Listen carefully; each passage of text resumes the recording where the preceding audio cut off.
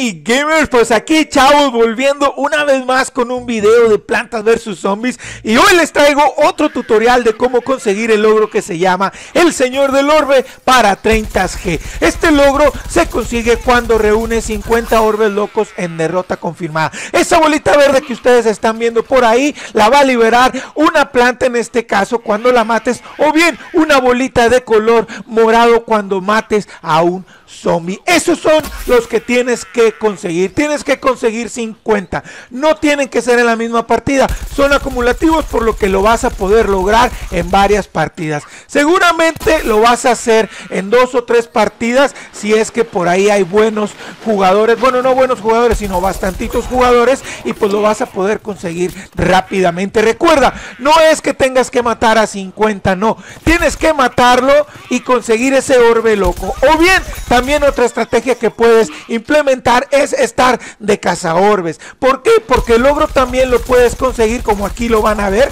Eh, hay otro compañero es el que lo mata y yo consigo el orbe. Entonces esos también te cuentan. Te cuentan los que tú mates y recuperes como los que tus compañeros maten y tú recuperes. Aquí lo importante es que únicamente y tienes que tomar en cuenta que únicamente te van a contar los orbes del equipo contrario.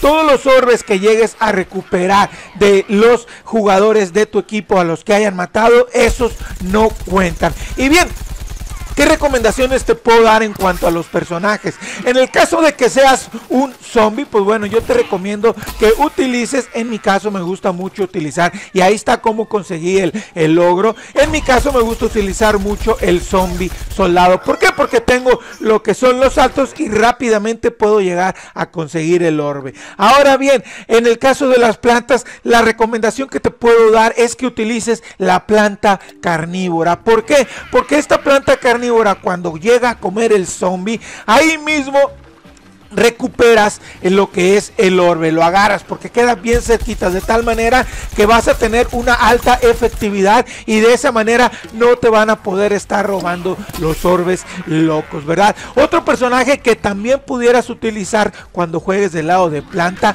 es el de el lanzaguisantes y con este lanzaguisantes lo que puedes hacer es que puedes aplicar la estrategia de los roba orbes, ¿no? También puedes aplicar de matar y agarrar los tuyos porque la ventaja que tiene este lanzaguisante es que con su hipervelocidad puede llegar rápidamente al lugar de los hechos.